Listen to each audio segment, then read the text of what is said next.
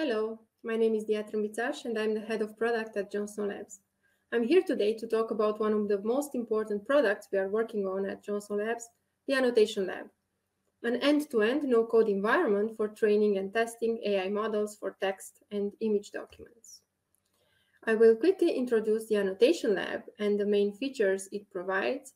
I will then continue my presentation with two short demos. The first one will show how to put together high quality training data, how to train an NER model and deploy it in production environment.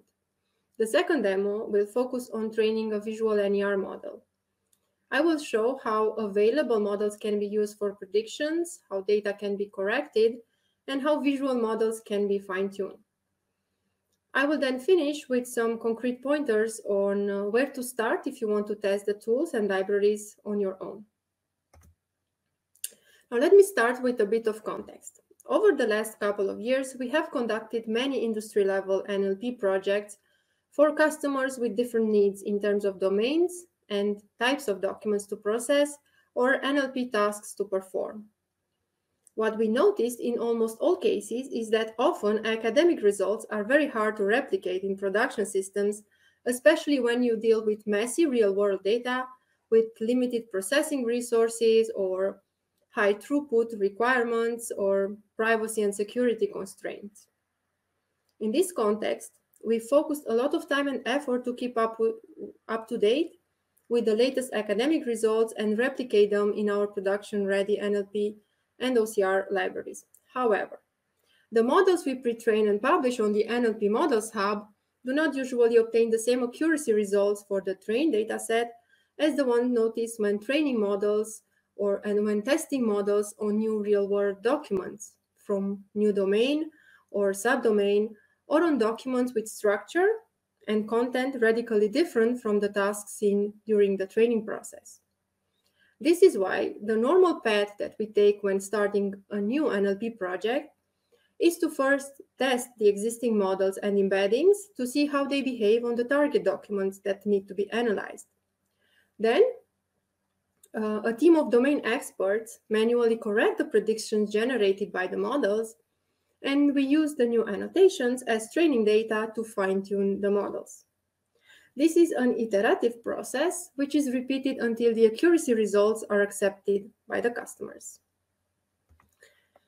Now, during the last years, NLP has improved a lot in terms of what is possible with state-of-the-art technology and how the industry is using it it has now become a foundational technology. And you can see from the healthcare AI survey conducted by Gradient Flow last year that NLP is considered next to data integration, business intelligence, and data warehousing, one of the core technologies that have the technical leaders were using. This is also what we have been seeing on our end as more and more customers include NLP pipelines in their regular data processing flows. What we are now focusing on is to make this technology as accessible as possible to everyone who wants to use it. Up until now, AI models and pipelines have been accessible to a handful of people, namely to hands-on experts in deep learning and transfer learning. Now, our ambition is to make this technology accessible to everyone. Why is that? Because we have noticed in our interactions with the customers that everything works well for the duration of the implementation project, but afterwards, customers struggle with maintaining and further improving the models that we deliver or adapting them to new subdomains and new types of documents. This is due to the fact that the majority of our, customers do not have, nor they intend to hire, data science teams specialized on NLP. Now, in order to support them, and in general, the domain experts, such as nurses, doctors, or lawyers, or accountants, or investors who want to use NLP technologies for extracting meaningful facts from documents or images, we have built the Annotation Lab as a free, no-code, end-to-end NLP platform, which can be used by anyone who wants to train NLP models or who wants to test or tune existing models for new documents or new subdomains. The tool evolved over the years and has now become the fastest way for enterprise teams to annotate data and train new models. It is based on a human in the loop paradigm, where domain experts continuously test the output of the models, improve the training data, and tune the model in order to obtain better accuracy results. The tool currently supports a wide range of annotation tasks classification, name entity recognition, relation extraction, assertion status, to name just a few. Initially conceived as a document annotation tool, we kept on adding features to better support multiple teams and running projects in parallel, for instance. We also added a set of predefined project templates that can be reused or interannotators agreement matrices to help eliminate confusion in the annotations. We also added support for custom workflows, including simple one-step annotations or annotations and review workflows. We also added analytics dashboard that indicates the project progress and the annotator's productivity. We have recently compared the annotation lab with the main competitors existing on the market, and here is the comparison table on a feature by feature level. The basic things that we added to the annotation lab was support for text, image, video, and audio labeling. But we also wanted not to restrict the annotation to a certain language and offer support for multilingual text labeling. Finally, we added support for overlapping annotations, chunk-based annotations for text projects, and relations labeling. From a project management perspective, having a dedicated team of clinical annotators and uh, running in-house annotation projects, we noticed the need for specific features which will make the life of annotators easier. And we integrated those into the annotation lab as well. So here is a complete list. And as you can see, all of those features are offered in the free version of the annotation lab. And those features are rarely found in the competitor tools. And if they are present, they are not provided for free. Let me name just a couple of the features that the tool supports. For instance, running multiple projects in parallel, grouping projects, searching and filtering projects, support for task assignment for a better workload distribution among the annotation team, or task uh, tagging or task comments and role-based task status computation. Uh, also, identification of duplicate tasks can help eliminate possible inconsistencies between annotations. And finally, full API access to projects and tasks is also provided and also for free to deal with security and privacy issues which are commonly encountered in domains such as finance or healthcare or pharma, we have added role-based access control, role-based views on the project tasks, full audit trail, and annotation versioning. Uh, the tool also supports single sign-on, and we offer on-premise deployment for air-gap environments, as well as AWS Marketplace deployments. All of those features are also provided for free. Now, maybe one of the most important features that we integrated into the annotation lab is AI-assisted text labeling. This is provided as a free feature and it is powered by Spark NLP library. It is possible to add to your project configuration labels predicted by existing models and rules and run pre-annotations on your task to jumpstart the annotation project. On top of the model-assisted annotation, we also support transfer learning, bring your own Spark NLP models, model training, and active learning. Finally, we have a full integration with the NLP Models Hub, which gives direct access to pre-annotation via more than 5,000 models and embeddings. Let's now check a short demo of those features which illustrate how to create a new project, import tasks, annotate, then train and tune a model and deploy it via the NLP server.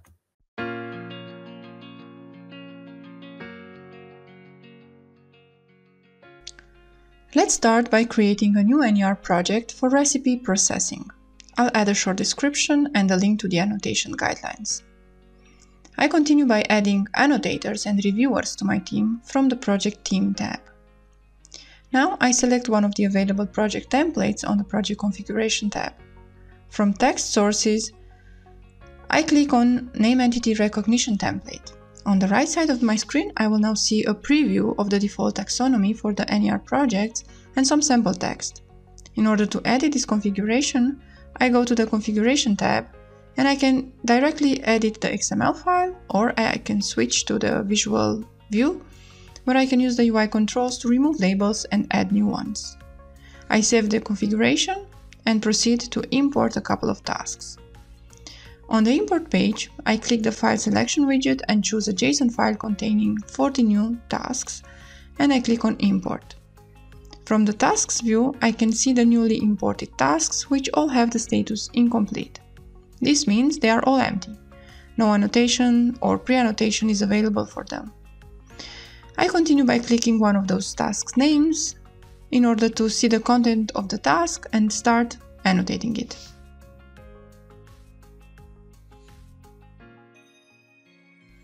On the labeling page, you can notice the taxonomy in the upper side of the screen and in the center the text I want to annotate or the content of the task. Let's start annotating. I activate one of the labels in my taxonomy by clicking it or by using the hotkeys, and then I select the text chunk I want to annotate. If the pages are long, it is worth saving the work from time to time so I don't risk losing it. Please notice that this task spins over three pages. I can navigate between the pages with left and right arrows. And I can also customize the size of a page by selecting a predefined size from the drop-down or by defining a new custom size. This feature is very helpful when you have cross-page NER or relation annotations. You can easily alter the size of your page so that your annotations will be temporarily located on the same page. You create them and then you switch back to the initial view. When the annotation is finished, I submit the completion. This will fi finalize and mark it with a star, which means that this is the current ground truth that will be used for model training. In the case I change my mind and want to edit something to this completion, I clone it into an editable copy. I do the edit and then submit again. This will automatically update the ground truth assignment. Once a completion has been submitted and started, the task status will change from incomplete to submitted. We can see that in the task view. Let's fast forward to the point where all 40 tasks have been annotated and have the status submitted. As project owner, I can now train a first version of the model. Let's first check what servers are currently deployed in this Annotation Lab instance. I see here a pre-annotation server for radiology reports, which is using a floating license which has been deployed by Angel 17 minutes ago. Annotation Lab is able to create multiple servers and run training or pre-annotation in parallel. The only restrictions are imposed by the actual available hardware resources. If you want to train or to pre-annotate tasks using license models or embeddings, you will need one or several licenses. Each one of those licenses will be used by one of the servers running the license configuration. It is not the case for my example as I am using the free options. Going back to the project, I navigate to the setup page and then to the training and active learning tab to train my model. I will use the open source Spark NLP and GloVe 100 dimension embeddings. I will keep the default values for all the other training parameters and press the train button. A pop-up will ask me if I want to deploy the model after training. This means that once trained, this new model will be deployed on a new server and it will be available to pre-annotate tasks. Let me navigate to the settings page again to see the new server created for my project. It does not use any license and it is currently training a new model. While the model trains, let's also check the Models Hub page. Here I can easily discover and download over 5000 models and embeddings which are published on the NLP Models Hub. Once they become available on the Hub, I can use them for pre-annotation in my projects or fine-tune them for my documents. Under the Available Models tab, I see all models downloaded from NLP Models Hub or trained via the Annotation Lab. Once the training will finish, my new model will also appear here in this page. Going back to the training screen, I can see the stage of the training process in the right side. If I click on the yellow button, I see in real time the logs generated by Spark NLP together with the accuracy metrics for the current epoch. This is automatically updated. When the training is finished, the status becomes green and the model is deployed for pre-annotation. It also becomes available on the Models Hub, and I can manually download the model and use it in my Python pipelines offline. I can also rename it or remove it entirely. At this point, I can also deploy my model via the NLP server for external testing or integration via API. The deployment can be done from the Models Hub page by clicking on the NLP Server button. This will launch a new instance of the NLP server, which will be aware of the custom model I just trained. I select the spell to run by searching for my project name, then put in some text to analyze in the text box or upload a text or CSV file and run preview to see the results.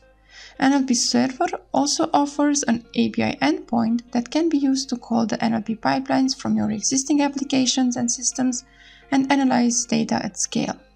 The NLP Server is a turnkey solution for applying John Snow Labs NLP and OCR on your documents without writing a line of code. It is a free and easy to use tool that you can download and run on your own infrastructure with zero data sharing. So, on top of the free annotation features, we also offer extended support for healthcare and OCR features, which are dependent on the presence of a Spark NLP for healthcare or Spark OCR license. Regarding the healthcare extension of the Annotation Lab, it provides support for contextual parser rule-based annotations and for the use of the pre-trained healthcare models and embeddings. As such, the Annotation Lab allows clinical and biomedical entity detection, clinical assertion status detection, healthcare-specific relation extraction, or entity normalization to standard medical taxonomies. It also offers support for transfer learning for NER models. As you can see, those features are not offered out of the box by any of the other tools in the market. When a Spark OCR license is present, Annotation Lab is able to import selectable as well as scan PDF documents or image documents and detect the text included in those and allow simple and straightforward annotation on top of those images. Let's now see a short demo on how to run annotation projects on PDF documents. We'll see how to import the license into the annotation lab from your account on My John Snow Labs how to create a visual NER project, import some image or PDF files, pre-annotate them, and then tune a custom model. In this demo, I want to showcase the visual NER support included into the Annotation Lab. And for that, I need a Spark OCR license. From the license page, I can connect to my account on myjohnsnowlabs.com, see all the available licenses, and import the one I want to use with the Annotation Lab. Then I can continue with creating a new project for the analysis of discharge summary documents.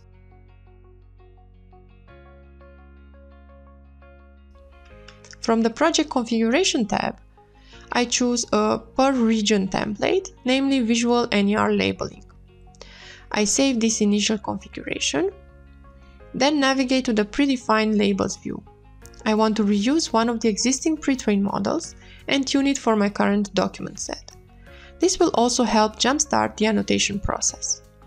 I click on the Visual NER clinical model and then choose three of the labels it predicts and add them to my current configuration. I do not want to deploy this configuration yet as it is not finalized. Now let's check how the configuration looks and remove the default labels added by the template. Also, I want to edit the colors associated with my labels, so my annotations are easier to differentiate. I save and deploy my configuration, then proceed to import a new task. I choose a PDF document and click Import. Spark OCR will now process this document in order to identify the text it includes, and once all its pages are OCR'd, a new task will be created.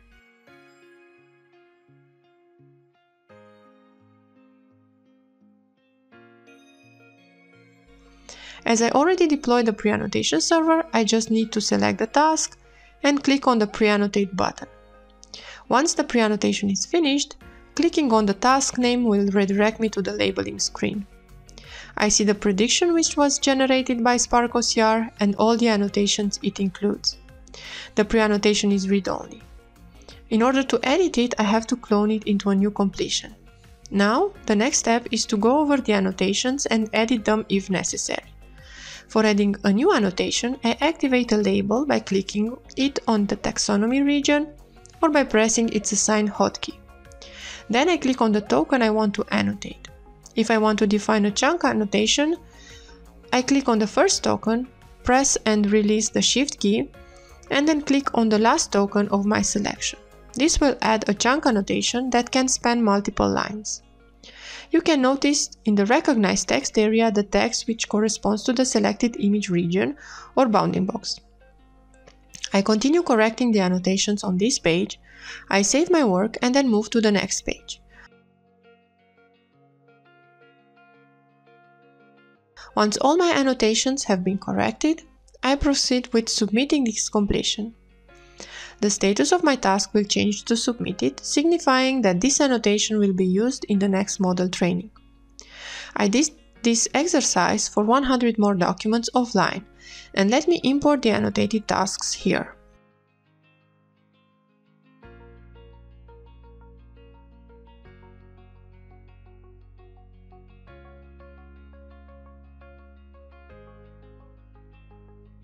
Now let me show you how I can tune this model for the new annotated tasks. From the setup page, I go to Training and Active Learning tab. I want to train a visual NER model, and I will use for these 5 epochs and keep the default values for all the other training parameters. Save my preferences and hit the Train Now button. The pop-up asks me if I want to deploy the model after training so that it becomes available for pre-annotations. I choose yes and the training starts. I can check the logs by clicking on the yellow button. After approximately half an hour, my model will be ready. It will become available for pre-annotations on this current project. It can also be reused by other projects run by other groups of annotators. And it will also become available on the Models Hub. You can rename it, download it for offline use in your Python pipelines or delete it when it is no longer needed. Training logs are also available to download in case they are necessary for keeping track of your experiments.